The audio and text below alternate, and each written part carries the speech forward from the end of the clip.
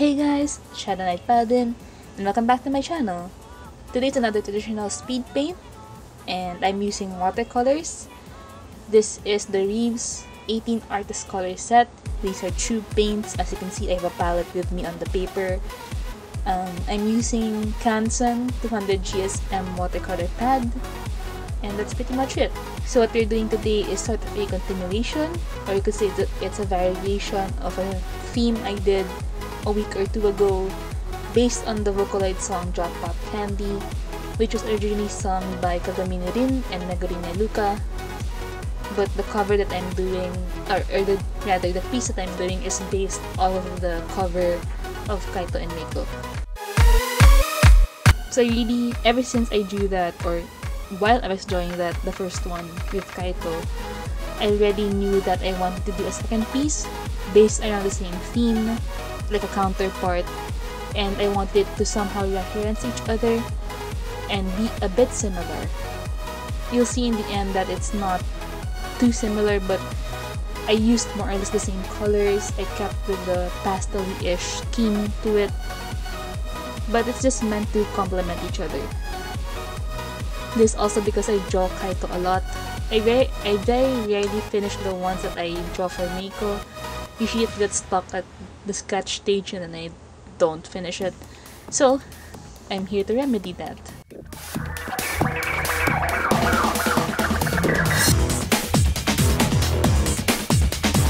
So the plan for this drawing was to keep the warmer and more eye-catching colors on Meiko this time, since it is the counterpart to the very warm and pastel version of Kaito, where I kept the blues and the cooler tones on Kaito. This time I'm keeping more of the warmer tones on Meiko and making everything else cooler. So her dress is red, it's a very nice little dress with a little ribbon and some lace. And my main problem became with this dress is that I didn't really know what accent color I wanted to use. Originally, I was thinking of something like a warm gold or some form of orange, but I felt that it would draw too much attention and brown was out of the topic since I used it for the hair and the shoes already. So I ended up using this Payne's Gray and um, Ultramarine Blue mix so I just mix the tubes of Payne's gray and ultramarine to get this bluish dark blue. No, no. To get this dark blue color. And personally, I do think that it did balance out the reds and the warm colors quite well. The umbrella is this nice pastely blue. This is to keep in with the reference thing to the other piece. In the Kaito version, if you've watched it, you know that I made the umbrella red. And that was in preparation for this piece.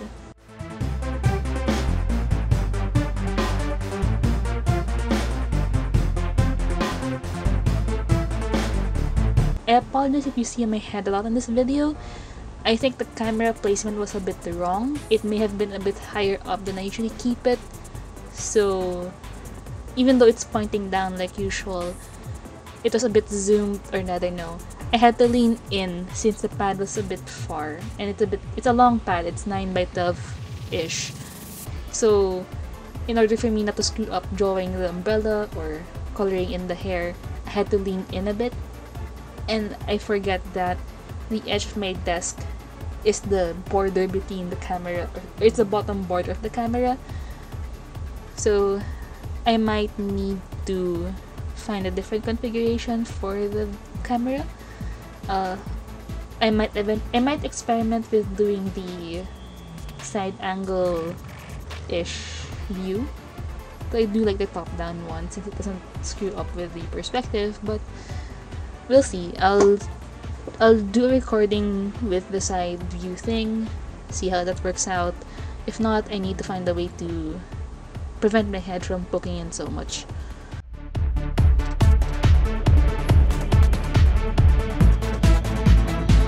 Yes, I know Meiko's eyes are brown, but I wanted to keep them red this time.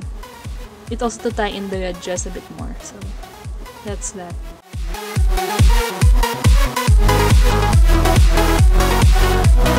So if you see me lifting the pad, I'm actually checking the older piece, the Kaito one, to see what colors I used for certain things and to double check if I used the right colors.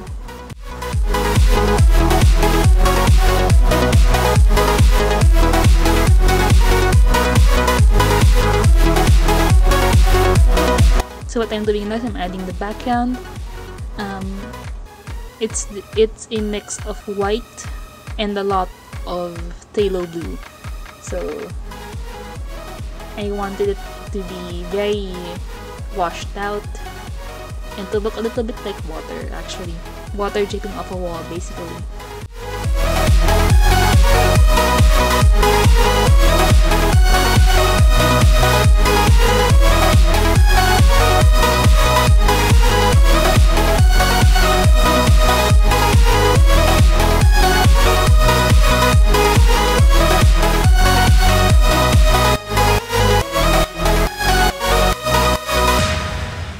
So right now the umbrella and the blues of Meiko's dress is sort of blending out or blending in rather with the wall. So what I did to remedy that I added in a purple or violet rather. Added in a violet or purple. Damn it, what color is that? That has red so that's a violet. That's a purple, yeah. So I'm adding purple in to sort of balance it out it's to differentiate the umbrella and make herself from the wall, and it makes Meiko pop out even more. Amazing the things that washes, watercolor washes can do. What and what I'm doing now is I'm adding the phthalo blue mixture to the the very bright window. This so that it won't catch as much attention and it would sort of take a step back into the background more. So this part is super sped up. I should have just cut it actually, but at least you'll see.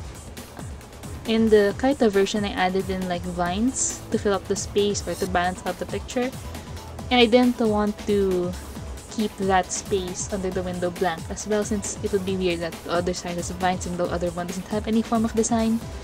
So I decided to do this triangular water drop design thing. I don't know why I thought of that, but hey, it's a cute thing, so might as well. What I'm doing is I'm adding some of the pink reddish tinge to the blue parts of her dress. This so it ties in with everything else and it's not too um, it doesn't pop out too much. So the key here is to keep things more or less tied in together. So you, that's achievable by adding a very light wash of a certain color on top of another color. So for example, with that dark blue, added in a wash of red so that it ties in with the purple of the background and the red of the dress. So you can see here I'm using the same color bricks. It's this mix of um, shan is that burnt sienna? No, that's what color is that? That's a mix of brown and um, ochre. I'm using, yeah, that's a mix of burnt umber and yellow ochre, the bricks. So later you'll see that I will add a blue wash to it so that it's not too bright. Now I'm adding the, what color is that? Yeah, I'm using the blue and the purple on the dress so that it would tie in with everything else as well. One thing I would caution against doing that is that the colors may become murky. So make sure that your wash is really light or don't layer too many colors over each other. Unless you're going for realism then I guess that's fine but So here's what I'm talking about. I am layering over the ultramarine and Payne's mixture on top of the yellow ochre burnt umber one so it looks nicely together. So these are my Pitt artist pens. I did this as well in the Kaito version, this to add more definition to some parts that the paint needs to be.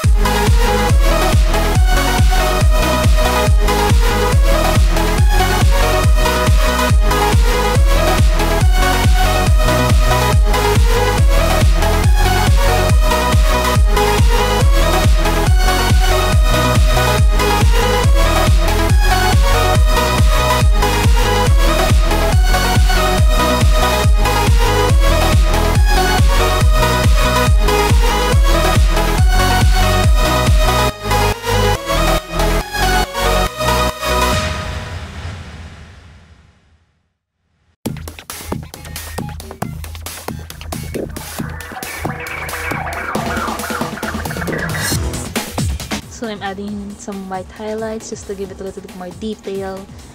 And I hope you guys enjoyed.